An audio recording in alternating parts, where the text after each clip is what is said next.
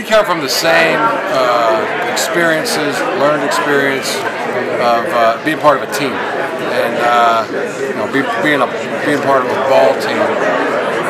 We view the athletic department, the university, uh, our individual teams. We're all a part of that team, so uh, yeah, we're working together.